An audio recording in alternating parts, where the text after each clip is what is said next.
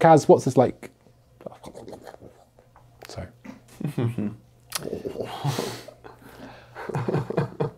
the GT Sensor alloy is a true trail bike with 130mm of travel and 29 inch wheels. To glance at its geometry chart, you can see that it is a little bit shorter than some of the more aggressive bikes on test, although it does have many similarities with both the Vitus and the Marin, both in terms of travel as well as some key dimensions such as head angle. But what does that look like on the trail? Well, let's find out with Kaz and Dario.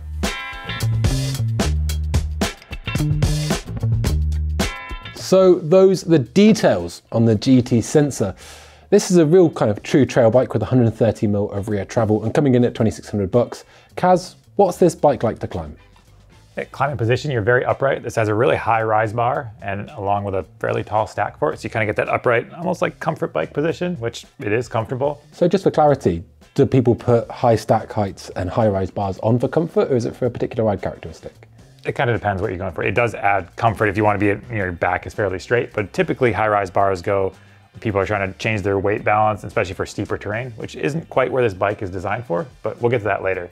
And does that rearward weight, well, sorry, the higher front end, which could put your weight more further towards the back of the bike, does that affect, does it mean the front wanders on climbs or does it stay relatively planted? It's relatively planted. You have long enough chain stays to balance it. I think just overall, just the general feel of the bike is more upright rather than something being racy and more hunched over. And Dario, this bike, it sounds like it's quite a yeah comfortable upright position. Mm -hmm. Did it have um, you know, suspension that was efficient, grippy. You know, it sounds almost that this bike could be a comfortable cruiser. How did the suspension play into that? I'd put it more on the efficient end of the spectrum. The shock is a three-position lever, so you could lock it out on the climbs if you wanted to. But I, for the most part, just ran it right in the middle, like up and down, and it felt quite good. Um, open, I didn't find it was like bogging into the travel a bunch, and even then, it wasn't super duper grippy. It's definitely just like a pedal quick and you know move efficiently kind of bike. Pretty much all the bikes here have relatively hard compound tires, which do tend to roll faster, but the GT also has a faster tread pattern. Um, I think it's the dissector in the rear and a DHF in the front, and those are relatively quick rolling. Yeah, as far as tr overall traction goes, I'd say this doesn't have quite as much traction from the suspension. Um, it doesn't, you know, some bikes have a little more softer off the top, kind of really dig in. It feels like it's grabbing at all the rocks and roots and things. This one definitely more stays up higher in its travel, and so you feel know, it feels like it wants to accelerate forward, but it's not absorbing all those bumps. Yeah, it's funny, isn't it, how we think about how well a bike climbs. Sometimes actually what we consider to be a good climbing bike actually climbs on things best that aren't real mountain biking techy chundery trails. But what we want to know as well is how it handles the descending section. So let's get on to how this bike descends.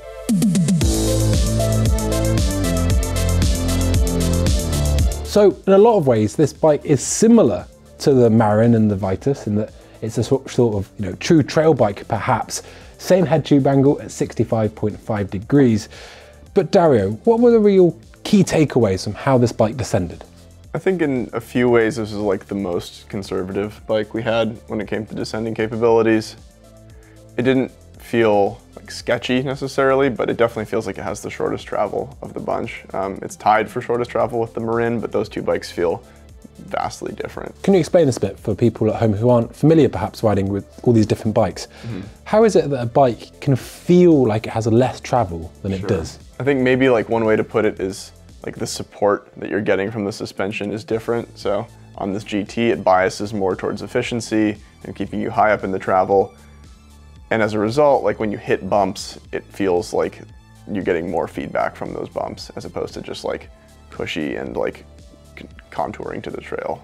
Now, Kaz, you ride a lot of these kind of true trail bikes, which now have sort of settled on that 130 mil travel maybe compared to a 140 mil fork. How is this bike to descend? And what happens when you ride it on things a bit outside its remit of true trail biking onto gnarlier, techier trails? Yeah, I think this bike definitely falls on the pointier side of things. You know, it does feel like you reach that edge a little bit quicker than we talked about the Marin. That bike has a pretty broad range, but this one, if you do get in some chunkier stuff or steeper terrain, you kind of feel like you're you're pushing the limits. It can feel I'm not gonna say scary, but you just realize that you're on a bike that shouldn't be pushed any harder. It's not one of those bikes, it's like, I'm gonna let off the brakes and see what happens. It's like, I'm gonna stay on the brakes and stay in control because I don't think it's gonna be able to handle this. So I think some of that does come down to that shock tune. It just feels like a little bit firmer, like Dario was alluding to. So you're, you're noticing more of the bumps coming at you. In terms of balance, we talk about that high front end. Does that come in, does it feel relatively neutral when you're riding it? Do would you like the front end to be lower perhaps, or maybe a lower rise bar? I like a higher stack height generally, so it felt good to me.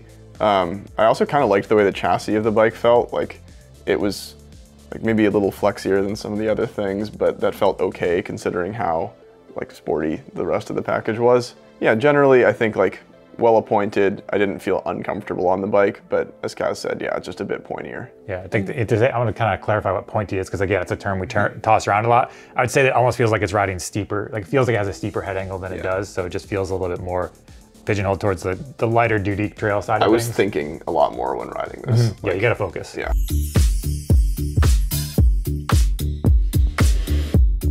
So let's talk about some of those components. Now, something that caught my eye, weirdly enough, I kind of thought that we were done with this for bikes. I mean, yes, they're value, but they're still pretty expensive, hmm. several thousand dollars. And it's got an internal bottom bracket. Can you just explain some of the drawbacks of an internal bottom bracket and why, almost as an industry, we moved away from it? Yeah, so basically we said the, the internal spline bottom bracket, but it turns out those bearings don't last as long. Service isn't as easy, where everything else at a you know mid to high end bikes all have an external bottom bracket. So kind of interesting to see the bike at this price point. It's I would have thought they could have gone a little nicer spec there, but it mm. also has 175 millimeter cranks. Well, this is it. Would the cranks be baked into the bottom bracket, or could you upgrade the bottom bracket in time?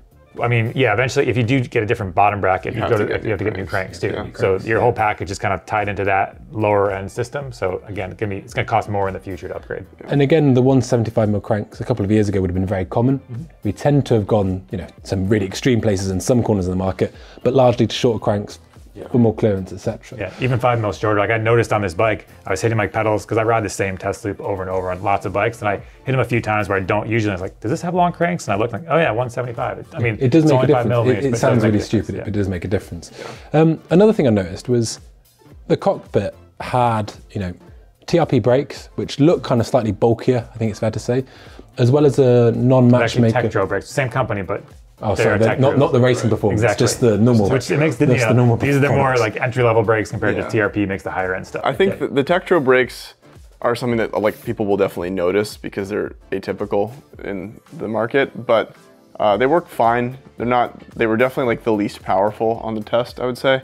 Um, the lever feel is pretty similar to the the Shimano MT420s that are on the Marin, but I think I prefer the Shimano's like quite a bit. They just feel more powerful, like better bite point, all that. And in terms, terms of ergonomics, how did you get on with that shifter placement? And was there any issues at all? Yeah, I mean, Kaz brought this up, and it, I think it's kind of frustrating. Like with the SX shifter, it has a very fat clamp that can't be integrated into the brakes, and so you either have to run it on the outside or the inside. And unless you have big hands, you're going to have a pretty cramped shifter and brake situation. And we've spoken a lot about this SX, NX drivetrains. It feels like, although SRAM obviously makes some really, really high-end great stuff, Shimano have the they ha- have the upper hand when it comes to entry-level drivetrains at the moment. Yeah, 100%. That when you're comparing at that entry level price point, the Shimano stuff is nicer, and we've tested dozens of bikes at this point to do some back to back, and Especially when you compare it to the Vitus's XT components SLX. Yeah. Vastly different in terms of performance, I would say. yeah. Yeah, for being like the same price, you're getting a much, much better drivetrain on the Vitus. Another thing to look at is the fork cars. So can you explain the experience you had with this fork and how it kind of surprised us because it wasn't necessarily what we're expecting when we saw the model on the bike. Yeah, so this has Marzocchi's Z2 fork with the rail damper, and we've had pretty good experience with this one before. Um, it's pretty simple internals, but typically effective. But this one developed a little bit of bushing play, and it also just didn't feel quite as effective at really sucking up the hits. Kind of felt um, just more It was inconsistent. Yeah. Like like sometimes it was nice and quiet and like, you know, supple through stuff, and then sometimes it would really feel like square and edgy. Yeah. So yeah, something to keep in mind. Not something you would swap out right away because obviously new fork is expensive. And although not, you know, not a component, you did mention that the frame was actually quite quiet. Yeah, I like the frame. I think it. I mean, maybe like aesthetically polarizing, but I think it looks cool. It has like nice bearing arrangement. It's pretty simple. Seems like it would be easy to work on, aside from the bottom bracket stuff. Uh, we didn't have any bolts come loose, and yeah, generally like smart. Like they they made locking cable ports, so it's not going to rattle too much in the frame, which we didn't see on any of these other bikes. So that's a nice detail. One last thing to talk about. We've spoken a lot about droppers in this field test, and oftentimes they're not been long enough. How was the GT? Again, it could still be a little bit longer on this one. Um, it was okay, not as short as some of the other posts, but I think part like on the GT because generally the bike is like a little smaller feeling, like travel wise, and it's like kind of on top of it. That dropper was less of an issue, um, just because it's like not suited towards steeper terrain quite as much as some of the other bikes are. Absolutely. Right, well, let's get on to some pros and cons.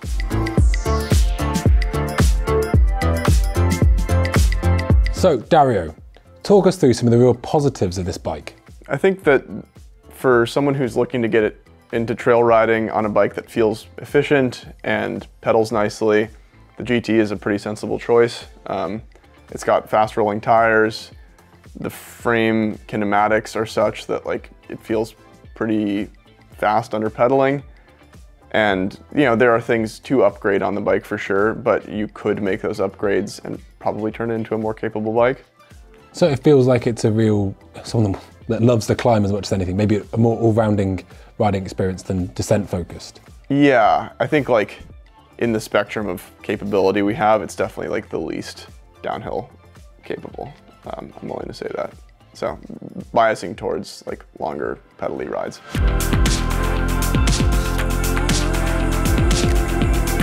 So, Kaz, I think we alluded to it just there, but can you talk us through some of the negatives of this bike? Yeah, I mean, if this bike is more climbing oriented, on the descent side of things is where it loses some of its shine. Uh, feels a little bit pointier, a little bit steeper, not quite as confidence inspiring. You do have to pay attention more. So someone that really wants to, you know, rally on the downhills, this isn't the bike to look for. But I don't understand. It's got 475 mil of reach. It's got a super slack head angle for what it is. Uh, and it's got the same amount of travel as a couple of other bikes in this test. I know. But it just doesn't add up to doesn't add up. You know, I think a lot probably to do with that shock tune. There could be some other stuff going on in the frame, but I think overall it's giving you more feedback, so it doesn't have the traction. So lack of traction would be one of the cons. Um, and then when the parts kit, we'll talk about value in a little bit, but I, as far as the parts on it, they are really more entry level parts on this bike than we see in some of the other ones. You know, we mentioned that internal, the, the spline bottom bracket, even the brakes, they're not the strongest. There's just the drivetrain. Yeah, it all kind of adds up. You're like, ah, I mean, It feels the most budgety. exactly.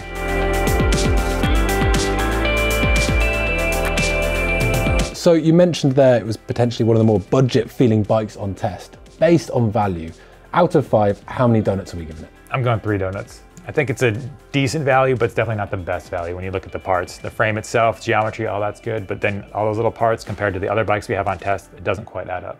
Dario, not the best value bike, but who's it for? I said it earlier with the, the pros on this. I think for someone who wants like an efficient feeling bike, uh, likes to pedal, wants something that um, you know can handle like a variety of terrain, but isn't necessarily going to like raise their ceiling as a rider. This is a pretty solid option. And again, like the frame it, itself is pretty nice. So if you're someone who like thinks they'll have this for a while and wants to upgrade stuff, it's not the worst option. So that is the GT Sensor Alloy. Now, please stay tuned for all the field test content we have coming out this week, and don't forget to subscribe to our YouTube channel to get all the meaningless drivel that we spout out on a daily basis.